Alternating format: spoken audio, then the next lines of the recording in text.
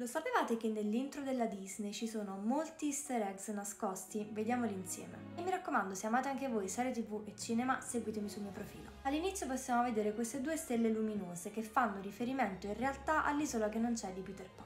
In seguito di Peter Pan vediamo anche la nave di Capitan Uncino e Trilli con la sua polvere magica che alla fine crea un arco sulla scritta Disney. Poi vediamo anche questo treno che rappresenta proprio Casimiro, il treno nel cartone di Dumbo. Il famoso castello sappiamo tutti che è ispirato al castello di Cenerentola, mentre la canzone di sottofondo a tutto l'intro è quella di Pinocchio, Una stella cade. Sentite?